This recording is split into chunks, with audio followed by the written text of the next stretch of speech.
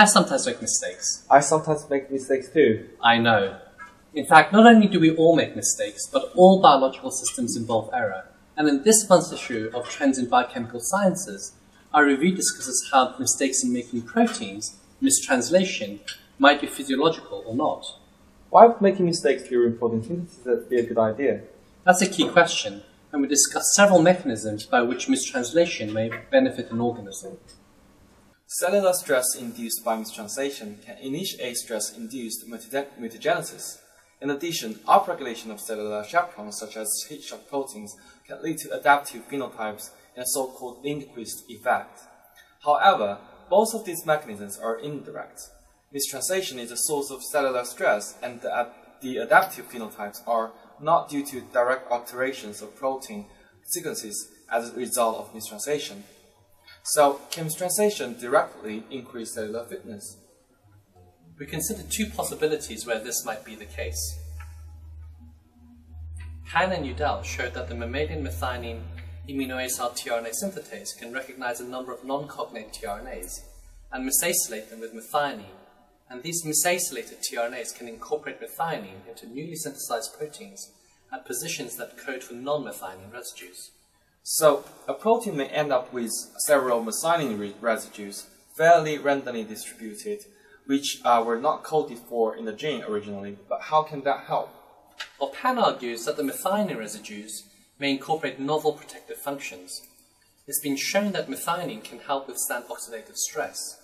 However, although it's clear that methionine misacylation and mistranslation are widespread, it's found in bacteria and fungi as well as mammalian cells, suggesting it has an important function. It's not yet been formally demonstrated that it plays a directly adaptive role. Are there any other possibilities? Well, our group studies mistranslation in mycobacteria.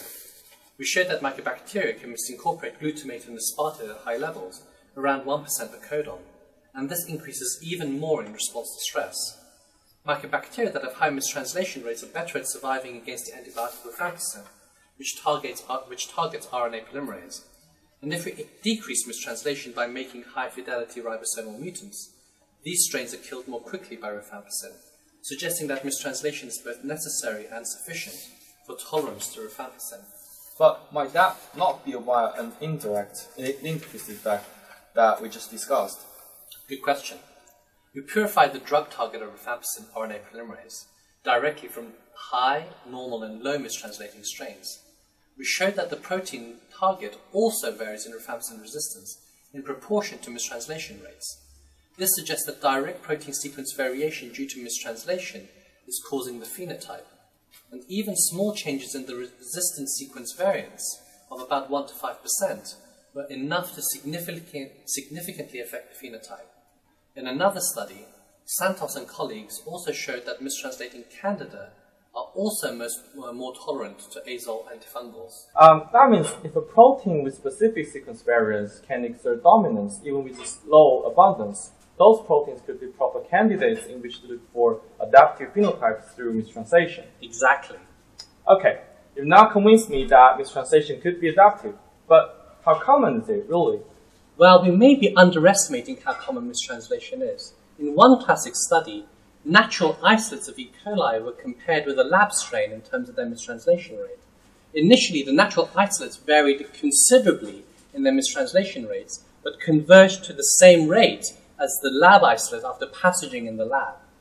So it could be that mistranslation is actually more common and even beneficial in environments which uh, emulate what organisms encounter in the wild compared to lab conditions.